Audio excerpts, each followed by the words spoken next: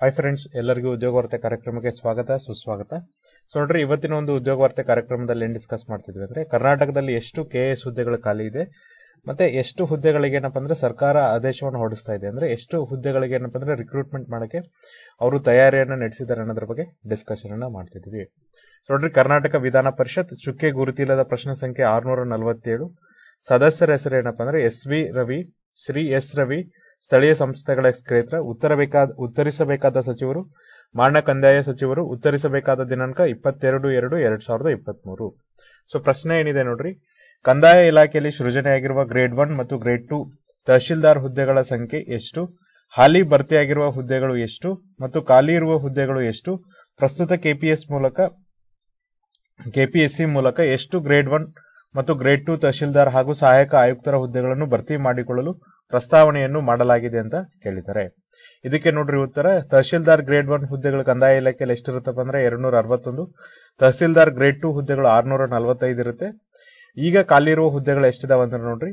ಸಹಾಯಕ ಆಯುಕ್ತರ ಹುದ್ದೆಗಳು ಎಷ್ಟಿದಾವಪ್ಪ ಅಂದ್ರೆ ನಲವತ್ತೆರಡು.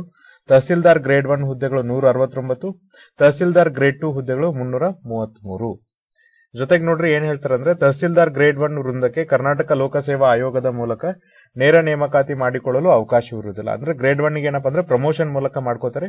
ಬದಲಾಗಿ ನೇರ ನೇಮಕಾತಿ ಮೂಲಕ ಆಯ್ಕೆಯನ್ನ ಮಾಡಿಕೊಳ್ಳಲ್ಲ ಅಂತ ಹೇಳ್ತಿದ್ದಾರೆ.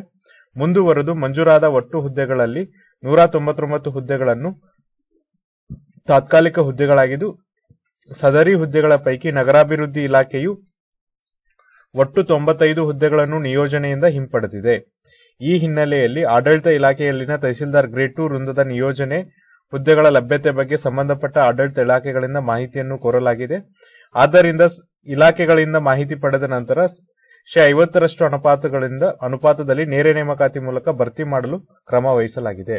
ಅಂದ್ರೆ ನೋಡ್ರಿ ಗ್ರೇಡ್ ಟು ಹುದ್ದೆಗಳು ಏನ್ ಕಾಲಿದೆಯಲ್ಲ ಅದ್ರಲ್ಲಿ ಏನಪ್ಪಾ ಅಂದ್ರೆ ಇನ್ನೂ ಕೆಲವೊಂದಿಷ್ಟು ಮಾಹಿತಿಯಿಂದ, ಇಲಾಖೆಯಿಂದ ಮಾಹಿತಿ ಲಭ್ಯ ಇಲ್ಲ. ಎಸ್ಪೆಷಲಿ ಯಾವ್ದಪ್ಪ ಅಂದ್ರೆ ಈ ಒಂದು ಆಡಳಿತ ಇಲಾಖೆಗಳಲ್ಲಿ ಏನಪ್ಪಾ ಅಂದ್ರೆ ಮಾಹಿತಿ ಲಭ್ಯ ಇಲ್ಲ ಅಂತ ಹೇಳ್ತಿದ್ರೆ ಹಾಗಾಗಿ ಆ ಇಲಾಖೆಯಿಂದ ಮಾಹಿತಿ ಬಂದ್ಮೇಲೆ ಏನಪ್ಪಾ ಅಂದ್ರೆ ಈಗೇನು ಎಷ್ಟು ವೇಕೆನ್ಸಿ ಇದೆಯಲ್ಲ, ಅದ್ರ ಐವತ್ತು ಪರ್ಸೆಂಟ್ ಅಷ್ಟು ಏನಪ್ಪಾ ಅಂದ್ರೆ ನೇರ ನೇಮಕಾತಿ ಮೂಲಕ ಭರ್ತಿ ಮಾಡ್ತಾರೆ. ಅಂದ್ರೆ ನೋಡ್ರಿ ಮುನ್ನೂರ ಮೂವತ್ತ್ ಮೂರರಲ್ಲಿ ಏನಪ್ಪಾ ಅಂದ್ರೆ ಅರ್ಧ ಅಂದ್ರೆ ನಿಮ್ಗೆ ಆಲ್ಮೋಸ್ಟ್ ಒನ್ ಸಿಕ್ಸ್ಟಿ ಅಥವಾ ಒನ್ ಸಿಕ್ಸ್ಟಿ ಫೈವ್ ಹುದ್ದೆಗಳನ್ನ ಏನಪ್ಪಾ ಅಂದ್ರೆ ನೇರ ನೇಮಕಾತಿ ಮೂಲಕ ಭರ್ತಿ ಮಾಡ್ತಾರೆ ಅಂತ ಹೇಳ್ತಿದ್ದಾರೆ.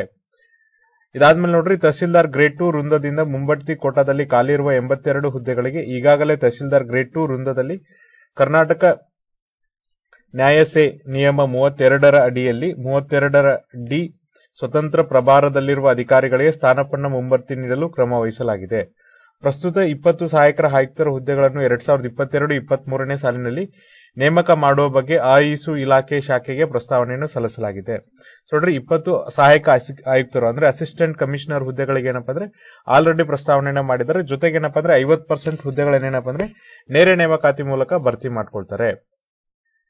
ಇದಾದ್ಮೇಲೆ ನೋಡ್ರಿ, ಇಲಾಖೆಯಲ್ಲಿ ಅಳವಡಿಸಿಕೊಂಡ ಸಿ ಅಂಡ್ ಆರ್ ನಿಯಮಗಳಂತೆ ಗ್ರೇಡ್ ಒನ್ ಮತ್ತು ಗ್ರೇಡ್ ಟು ತಹಸೀಲ್ದಾರ್ ಹುದ್ದೆಗಳನ್ನು ಯಾವ ಅನುಪಾತದಲ್ಲಿ ಬಡ್ತಿ ಮೂಲಕ ಹಾಗೂ ಕರ್ನಾಟಕ ಲೋಕಸೇವಾ ಆಯೋಗದಿಂದ ನಡೆಸುವ ಸ್ಪರ್ಧಾತ್ಮಕ ಪರೀಕ್ಷೆ ಮೂಲಕ ನೇಮ ಮಾಡಿಕೊಳ್ಳಲಾಗುವುದು, ನೇಮಕ ಮಾಡಿಕೊಳ್ಳಲಾಗುವುದು, ವಿವರ ನೀಡುವುದು. ಅಂದ್ರೆ ಗ್ರೇಡ್ ಒನ್, ಗ್ರೇಡ್ ಟೂಗೆ ನೀವು ಯಾವ ತರನಾಗಿ ಬಡ್ತಿಯನ್ನ ಕೊಡ್ತೀರಾ, ಇನ್ ಜೊತೆಗೆ ನೋಡ್ರಿ, ಎಷ್ಟು, ಯಾವ ಒಂದು ವೇದಲ್ಲಿ ನೀವೇನಪ್ಪ ಅಂದ್ರೆ, ಎಷ್ಟು ಅನುಪಾತದಲ್ಲಿ ನೀವೇನಪ್ಪ ಅಂದ್ರೆ ಈ ಹುದ್ದೆಗಳನ್ನ ಕರ್ನಾಟಕ ಲೋಕಸೇವಾ ಆಯೋಗ ನಡೆಸುವಂತ ಸ್ಪರ್ಧಾತ್ಮಕ ಪರೀಕ್ಷೆ ಮೂಲಕ ಭರ್ತಿ ಮಾಡ್ಕೊಳ್ತೀರಾ ಅಂತ ಕೇಳ್ತಿದ್ದಾರೆ. ಸೊ ನೋಡ್ರಿ ವೃಂದ ಮತ್ತು ನೇಮಕಾತಿ ನಿಯಮಗಳಂತೆ ತಹಸೀಲ್ದಾರ್ ಗ್ರೇಡ್ ಒನ್ ವೃಂದದ ಶೇ ಹಂಡ್ರೆಡ್ ಅಷ್ಟು ಹುದ್ದೆಗಳನ್ನು ತಹಸೀಲ್ದಾರ್ ಗ್ರೇಡ್ ಟು ಹುದ್ದ, ವೃಂದದ ಅಧಿಕಾರಿಗಳಿಗೆ ಮುಂಬರ್ತಿ ನೀಡುವ ಮೂಲಕ ತುಂಬಲಾಗುತ್ತದೆ. ಅಂದ್ರೆ ನೋಡ್ರಿ, ಗ್ರೇಡ್ ಟು ಹುದ್ದೆಗಳ, ಗ್ರೇಡ್ ಒನ್ ಹುದ್ದೆಗಳೇನಿದೆಯಲ್ಲ ಈಗ ಯಾರು ತಹಸೀಲ್ದಾರ್ ಆಗಿ ಗ್ರೇಡ್ ಟು ಹುದ್ದೆಗಳು ಇರ್ತಾರಲ್ಲ ಅಲ್ಲಿ ಪ್ರಮೋಷನ್ ನೀಡೋ ಮೂಲಕ ಅಥವಾ ಮುಂಬಡ್ತಿ ನೀಡೋ ಮೂಲಕ ಏನಪ್ಪಾ ಅಂದ್ರೆ ತುಂಬಲಾಗುತ್ತೆ. ಮುಂದುವರೆದು ತಹಸೀಲ್ದಾರ್ ಗ್ರೇಡ್ ಟು ವೃಂದದ ಶೇ ಐವತ್ತರಷ್ಟು ಹುದ್ದೆಗಳನ್ನು ನೇರ ನೇಮಕಾತಿ ಮೂಲಕ, ಶೇ ಐವತ್ತರಷ್ಟು ಹುದ್ದೆಗಳನ್ನು ಮುಂಬಡ್ತಿ ಮೂಲಕ ತುಂಬಲಾಗುತ್ತದೆ. ಅಂದ್ರೆ ಇಲ್ಲಿ ತಹಸೀಲ್ದಾರ್ ಹುದ್ದೆಗಳಲ್ಲಿ ನೋಡ್ರಿ ಐವತ್ತು ಪರ್ಸೆಂಟ್ ಹುದ್ದೆಗಳನ್ನ ಏನಪ್ಪಾ ಅಂದ್ರೆ ನೇರ ನೇಮಕಾತಿ ಮೂಲಕ ಅಂದ್ರೆ ಕೆಪಿಎಸ್ಸಿ ಎಕ್ಸಾಮ್ ನಡೆಸೋ ಮೂಲಕ ನಡೆಸ್ತಾರೆ ಕೆಎಸ್ ಎಕ್ಸಾಮ್ ಮೂಲಕ ನಡೆಸ್ತಾರೆ. ಇನ್ನು ಐವತ್ತು ಪರ್ಸೆಂಟ್ ಹುದ್ದೆಗಳನ್ನ ಏನ್ ಮಾಡ್ತಾರೆ ಅಂದ್ರೆ ಈ ಒಂದು ಮುಂಬಡ್ತಿ ಮೂಲಕ ಅಥವಾ ಏನಪ್ಪಾ ಅಂದ್ರೆ ಪ್ರಮೋಷನ್ ಮೂಲಕ ತುಂಬ್ತೀವಿ ಅಂತ ಹೇಳ್ತಿದ್ದಾರೆ. ಇಲಾಖೆಯಲ್ಲಿ ಹಲವಾರು ವರ್ಷಗಳಿಂದ ಗ್ರೇಡ್ ಒನ್ ಮತ್ತು ಗ್ರೇಡ್ ಟು ತಹಶೀಲ್ದಾರ್ ಹಾಗೂ ಸಹಾಯಕ ಆಯುಕ್ತರ ಹುದ್ದೆಗಳು ಖಾಲಿ ಇದ್ದರೂ ಅದಕ್ಕನುಗುಣವಾಗಿ ನೇಮಕಾತಿ ಪ್ರಕ್ರಿಯೆಗಳನ್ನು ನಡೆಸದಿರುವುದು ಸರ್ಕಾರದ ಗಮನಕ್ಕೆ ಬಂದಿದೆಯೇ? ಬಂದಿದ್ದಲ್ಲಿ ಕಳೆದ ಮೂರು ವರ್ಷಗಳಲ್ಲಿ ಸದರಿ ಹುದ್ದೆಗಳನ್ನು ನೇಮಕಾತಿ ಮಾಡಿಕೊಳ್ಳಲು ಪ್ರಸ್ತಾವನೆಯನ್ನು ಸಲ್ಲಿಸದಿರಲು ಕಾರಣವೇನು? ಇಲಾಖೆಯಲ್ಲಿ ಕೇವಲ ಬಡ್ತಿ ಮೂಲಕ ಮಾತ್ರ ಈ ಹುದ್ದೆಗಳನ್ನು ಭರ್ತಿ ಮಾಡಲಾಗುತ್ತಿದೆ. ವಿವರಣೆ ನೀಡಲಾಗುವುದು. ಅಂದ್ರೆ ನೋಡ್ರಿ, ಕಳೆದ ಮೂರು ವರ್ಷದಿಂದ ಯಾವುದೇ ನೇಮಕಾತಿ ಆಗಿಲ್ಲ. ಅದ್ರ ಬಗ್ಗೆ ಕ್ವಶನ್ ಅನ್ನ ಮಾಡಿದರೆ, ಯಾಕೆ ನೀವು ನೇಮಕಾತಿ ಮಾಡಿಲ್ಲ ಅಂತ ಕ್ವಶನ್ ಅನ್ನ ಮಾಡ್ತಿದ್ದಾರೆ. ಜೊತೆಗೆ ಏನ್ ನೀವು ಈಗ ಏನ್ ಮಾಡ್ತಿದ್ರಪ್ಪ ಯಾಕಂದ್ರೆ ಕೇವಲ ಪ್ರಮೋಷನ್ ಮೂಲಕ ಯಾಕೆ ಬಡ್ತಿ ಮಾಡ್ತಿದ್ರೆ?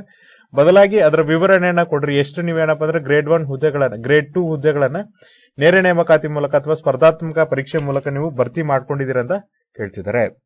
ಅದಕ್ಕೆ ನೋಡ್ರಿ, ಸರ್ಕಾರದ ಉತ್ತರ ಏನಿದೆ ಅಂದ್ರೆ ಇತ್ತೀಚೆಗೆ ಎರಡ್ ಸಾವಿರದ ಹನ್ನೊಂದನೇ ಬ್ಯಾಚಿನ ಮೂವತ್ತೊಂದು ಅಭ್ಯರ್ಥಿಗಳಿಗೆ ಹಾಗೂ ಎರಡ್ ಸಾವಿರದ ಇಪ್ಪತ್ತನೇ ಬ್ಯಾಚಿನ ನಲವತ್ತೊಂಬತ್ತು ಅಭ್ಯರ್ಥಿಗಳಿಗೆ ನೇಮಕಾತಿ ಆದೇಶ ನೀಡಲಾಗಿದ್ದು, ಸದರಿ ಅಧಿಕಾರಿಗಳು ಪ್ರಸ್ತುತ ವಿವಿಧ ಜಿಲ್ಲೆಗಳಲ್ಲಿ ಜಿಲ್ಲಾ ತರಬೇತಿಯಲ್ಲಿರುತ್ತಾರೆ ಪ್ರಸ್ತುತ ಖಾಲಿ ತಹಸೀಲ್ದಾರ್ ಗ್ರೇಡ್ ಟು ವೃಂದದಲ್ಲಿ ನೂರ ತೊಂಬತ್ತೊಂಬತ್ತು ನಿಯೋಜನಾ ಹುದ್ದೆಗಳಿದ್ದು, ಈ ಪೈಕಿ ನಗರಾಭಿವೃದ್ಧಿ ಇಲಾಖೆ ತೊಂಬತ್ತಾರು ಹುದ್ದೆಗಳು ಇರುವುದಿಲ್ಲವೆಂದು ತಿಳಿಸಿದೆ. ಅದರಂತೆ ವಿವಿಧ ಇಲಾಖೆಗಳಿಂದ ನಿಯೋಜನಾ ಹುದ್ದೆಗಳ ಬಗ್ಗೆ ಮಾಹಿತಿ ಪಡೆದು ನೇರ ನೇಮಕಾತಿ ಮೂಲಕ ನಿಯಮಾನುಸಾರ ಭರ್ತಿ ಮಾಡಲು ಕ್ರಮ ವಹಿಸಲಾಗುವುದು.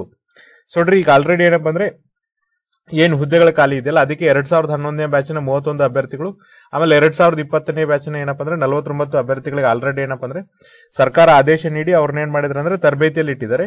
ಇನ್ನು ಉಳಿದಂತೆ ನೋಡ್ರಿ ಗ್ರೇಡ್ ಟು ವೃಂದದಲ್ಲಿ ಏನಪ್ಪ ಅಂದ್ರೆ ನೂರ ತೊಂಬತ್ತೊಂಬತ್ತು ನಿಯೋಜನೆ ಹುದ್ದೆಗಳಿರುತ್ತೆ. ಈ ಪೈಕಿ ಏನಪ್ಪ ಅಂದ್ರೆ ನಗರಾಭಿವೃದ್ಧಿ ಇಲಾಖೆಯಲ್ಲಿ ತೊಂಬತ್ತಾರು ಹುದ್ದೆಗಳು ಇರುವುದಿಲ್ಲ ಅಂತ ಅವರು ತಿಳಿಸಿದ್ದಾರೆ. ಹಾಗಾಗಿ ಬೇರೆ ಬೇರೆ ಇಲಾಖೆಗಳಿಂದ ಮಾಹಿತಿಯನ್ನು ಪಡೆದು ಮುಂದೆ ಕ್ರಮ ವಹಿಸ್ತೀವಿ ಅಂತ ಹೇಳಿದ್ದಾರೆ. ನೆಕ್ಸ್ಟ್ ನೋಡ್ರಿ, ಇಲಾಖೆಯಲ್ಲಿ ಹಾಲಿ ಕಾರ್ಯನಿರ್ವಹಿಸುತ್ತಿರುವ ಗ್ರೇಡ್ ಒನ್ ಮತ್ತು ಗ್ರೇಡ್ ಟೂ ತಹಸೀಲ್ದಾರ್ ಹಾಗೂ ಕೆಎಸ್ ಕಿರಿಯ ಮತ್ತು ಹಿರಿಯ ಶ್ರೇಣಿಯ ಅಧಿಕಾರಿಗಳ ಸಂಖ್ಯೆ ಎಷ್ಟು ಈ ಅಧಿಕಾರಿ ಹೆಸರು ಮತ್ತು ಹುದ್ದೆ ಸಮೇತ ಮಾಹಿತಿ ನೀಡುವುದಂತ ಹೇಳ್ತಿದ್ದಾರೆ. ಅದಕ್ಕೆ ನೋಡ್ರಿ, ಪ್ರಸ್ತುತ ತಹಶೀಲ್ದಾರ್ ಗ್ರೇಡ್ ಒನ್ ವೃಂದದಲ್ಲಿ ತೊಂಬತ್ತೆರಡು ಅಧಿಕಾರಿಗಳು ಕರ್ತವ್ಯ ನಿರ್ವಹಿಸುತ್ತಿದ್ದಾರೆ. ತಹಸೀಲ್ದಾರ್ ಗ್ರೇಡ್ ಟೂ ಅಲ್ಲಿ ಮುನ್ನೂರ ಹನ್ನೆರಡು ಅಧಿಕಾರಿಗಳು ಕರ್ತವ್ಯ ನಿರ್ವಹಿಸುತ್ತಿದ್ದಾರೆ. ಉಳಿದಂತೆ ಅವರ ಹೆಸರುಗಳನ್ನ ಏನಪ್ಪ ಅಂದ್ರೆ ಅನುಬಂಧದಲ್ಲಿ ನೀಡಿದ್ದಾರೆ ಅಂತ ಹೇಳ್ತಿದ್ದಾರೆ. ಸೊ ನೋಡ್ರಿ, ಒಟ್ಟು ತಹಸೀಲ್ದಾರ್ ಗ್ರೇಡ್ ಒನ್ ಹುದ್ದೆಗಳು ಎಷ್ಟಪ್ಪ ಅಂದ್ರೆ ಎರಡ್ ನೂರ ಅರವತ್ತೊಂದು ಅದರಲ್ಲಿ ಈಗ ಕಾರ್ಯನಿರ್ವಹಿಸುತ್ತಿರುವವರು ಎಷ್ಟಪ್ಪ ಅಂದ್ರೆ ಕೇವಲ ತೊಂಬತ್ತೆರಡು ಹುದ್ದೆಗಳು ಮಾತ್ರ ಏನಪ್ಪಾ ಅಂದ್ರೆ ಕಾರ್ಯನಿರ್ವಹಿಸ್ತಾ ಇದೆ ಅಂತ ಹೇಳ್ತಿದ್ದಾರೆ. ಹಾಗಾಗಿ, ನೋಡ್ರಿ, ಎಷ್ಟು ಹುದ್ದೆಗಳು ಖಾಲಿ ಉಳಿಯತ್ತಂತಂದ್ರೆ ಈಗ ಇನ್ನು ನೂರ ಅರವತ್ತೊಂಬತ್ತು ಹುದ್ದೆಗಳನ್ನ ಅವ್ರು ಏನಪ್ಪಾ ಅಂದ್ರೆ ಮುಂಬಡ್ತಿ ಕೊಡೋ ಮೂಲಕ ಏನ್ ಮಾಡ್ಬೇಕಪ್ಪ ಅಂದ್ರೆ ಬಡ್ತಿ ಮಾಡಬೇಕು. ಅದೇ ತರನಾಗಿ ತಹಶೀಲ್ದಾರ್ ಗ್ರೇಡ್ ಟು ಹುದ್ದೆಗಳಲ್ಲಿ ನೋಡ್ರಿ, ಒಟ್ಟು ಆರ್ನೂರ ನಲವತ್ತೈದು ಹುದ್ದೆಗಳಿವೆ. ಆಮೇಲೆ ಈಗ ಖಾಲಿ ಇರುವಂತಹ ಹುದ್ದೆಗಳನ್ನು ನಾವು ಗಮನಿಸ್ತಾ ಹೋದ್ರೆ ಕೇವಲ ಏನಪ್ಪ ಅಂದ್ರೆ ಮುನ್ನೂರ ಇಪ್ಪತ್ತೊಂದು ಜನ ಮಾತ್ರ ಏನಂದ್ರೆ ಗ್ರೇಡ್ ಟು ಹುದ್ದೆಗಳಲ್ಲಿ ಕೆಲಸವನ್ನ ಮಾಡ್ತಿದ್ದಾರೆ. ಉಳಿದಂತೆ ಮುನ್ನೂರ ಮೂವತ್ಮೂರು ಹುದ್ದೆಗಳನ್ನ ಏನಪ್ಪ ಅಂದ್ರೆ ಖಾಲಿ ಇದೆ. ಹಾಗಾಗಿ ಶೀಘ್ರದಲ್ಲಿ ಏನಪ್ಪ ಅಂದ್ರೆ ಈ ಮುನ್ನೂರ ಮೂವತ್ತು ಹುದ್ದೆಗಳನ್ನ ನೇಮಕಾತಿ ಮಾಡ್ಕೋಬೇಕಂತ ಹೇಳ್ತಿದ್ದಾರೆ. ನೋಡ್ರಿ ಹೀಗೇನ್ ಸರ್ಕಾರದ ಪ್ರಸ್ತಾವನೆ ಬಂದಿದೆ. ಕೇವಲ ನಲವತ್ಮೂರು ಕೆಎಸ್ ಹುದ್ದೆಗಳನ್ನ ಭರ್ತಿ ಮಾಡೋದಕ್ಕೆ ಅಂತ ಹೇಳ್ತಿದ್ರಲ್ಲ ಇಲ್ಲಿ ನೋಡ್ರಿ, ಕೇವಲ ತಹಶೀಲ್ದಾರ್ ಒಂದೇ ಹುದ್ದೆದಲ್ಲಿ ಏನಪ್ಪ ಅಂದ್ರೆ ನಿಮಗೆ ಮುನ್ನೂರ ಮೂವತ್ಮೂರು ವೇಕೆನ್ಸೀಸ್ ಇದೆ. ಇದರಲ್ಲಿ ನಿಮಗೆ ಫಿಫ್ಟಿ ಪರ್ಸೆಂಟ್ ಅಂದ್ರೆ ಆಲ್ಮೋಸ್ಟ್ ಏನಪ್ಪ ಅಂದ್ರೆ ಒನ್ ಸಿಕ್ಸ್ಟಿ ಫೈವ್ ಹುದ್ದೆ ಅಥವಾ ನೂರ ಅರವತ್ತೆಂಟು ಅಥವಾ ನೂರ ಅರವತ್ತೇಳು ಹುದ್ದೆಗಳು ಬರುತ್ತೆ. ಇಷ್ಟು ಹುದ್ದೆಗಳನ್ನ ಅವ್ರೇನಪ್ಪ ಅಂದ್ರೆ ನೇರ ನೇಮಕಾತಿ ಮೂಲಕ ಭರ್ತಿ ಮಾಡಬೇಕು. ಕೇವಲ ನಲವತ್ಮೂರು ಹುದ್ದೆಗಳನ್ನ ಭರ್ತಿ ಮಾಡಿದ್ರೆ ಇನ್ನೂ ಕೂಡ ವೇಕೆನ್ಸೀಸ್ ಉಳಿಯುತ್ತೆ. ಹಾಗಾಗಿ ಸರ್ಕಾರ ನೋಡ್ರಿ, ಯಾವೆಲ್ಲ ಹುದ್ದೆಗಳು ಖಾಲಿ ಇದೆಯಲ್ಲ ಅದಕ್ಕೆ ಏನಪ್ಪ ಅಂದ್ರೆ ಆದಷ್ಟು ಬೇಗ ನೇಮಕಾತಿ ಮಾಡಲಿ ಅಂತ ನಾವು ಕೋರ್ಕೊಳ್ತೀವಿ. ಸೊ ಇದು ಏನಪ್ಪ ಅಂದ್ರೆ ಯಾರೆಲ್ಲ ಕೆ ಎಸ್ ಪರೀಕ್ಷೆನ ನಡೆಸ್ತಿದ್ರಲ್ಲ, ಅವರಿಗೋಸ್ಕರ ಇರುವಂತ ಮಹತ್ವದ ಮಾಹಿತಿ. ಇದೇ ತರನ ಅಂತ ಮಹತ್ವದ ಮಾಹಿತಿನ ನಾವು ನಿಮ್ಗೆ ಕೊಡ್ತಾ ಇರ್ತೀವಿ. ಅಲ್ಲಿವರೆಗೂ ನೋಡ್ತಾ ಇರಿ ಉದ್ಯೋಗ ವಾರ್ತೆ ಕಾರ್ಯಕ್ರಮ. Thank you